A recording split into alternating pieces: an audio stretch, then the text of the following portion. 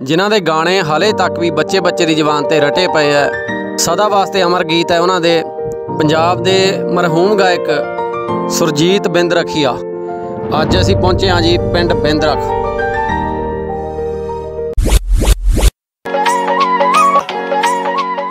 ਹਾਂਜੀ, ਸਾਰਿਆਂ ਨੂੰ ਸਤਿ ਸ਼੍ਰੀ ਅਕਾਲ। ਆਪਾਂ ਅੱਜ ਜਾ ਰਹੇ ਜੀ ਇੱਕ ਬਹੁਤ ਹੀ ਵਧੀਆ ਜਗ੍ਹਾ। ਕਿੱਥੇ ਜਾਵਾਂਗੇ? ਇਹ ਤੁਹਾਨੂੰ ਅੱਗੇ ਵੀਡੀਓ 'ਚ ਪਤਾ ਚੱਲ ਜਾਊਗਾ।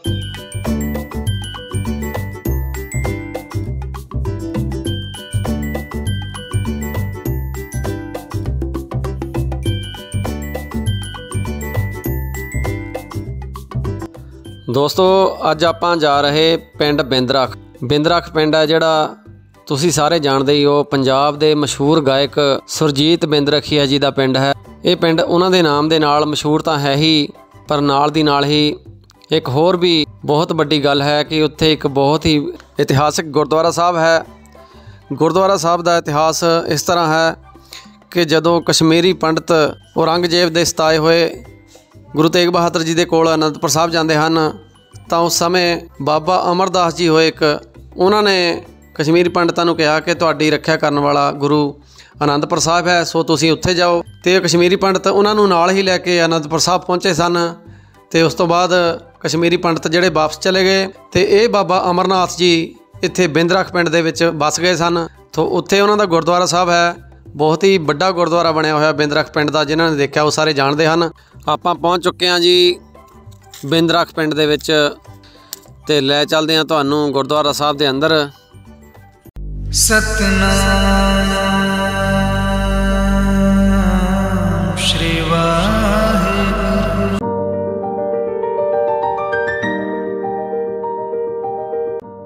ਇਹ ਹੈ ਜੀ ਉਹ ਅਸਥਾਨ ਬਾਬਾ ਅਮਰਨਾਥ ਜੀ ਦਾ, ਜਿਨ੍ਹਾਂ ਨੇ ਕਸ਼ਮੀਰੀ ਪੰਡਤਾਂ ਨੂੰ ਨਾਲ ਲੈ ਕੇ ਸ੍ਰੀ ਗੁਰੂ ਤੇਗ ਬਹਾਦਰ ਜੀ ਸਾਹਿਬ ਦੇ ਕੋਲ ਪਹੁੰਚੇ ਸਨ।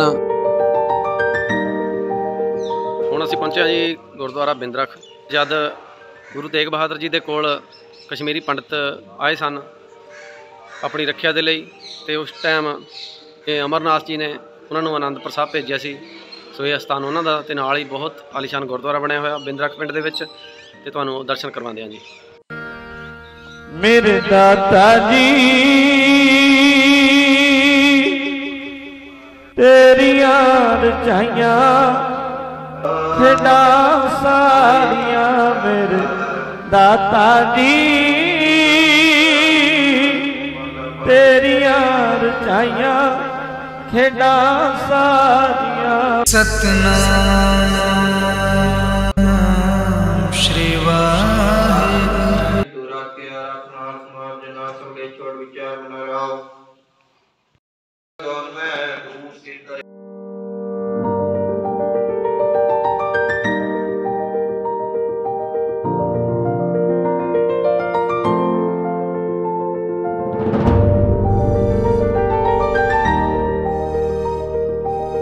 ਖਾਲਸਾ ਵਾਹਿਗੁਰੂ ਜੀ ਕੀ ਫਤਿਹ।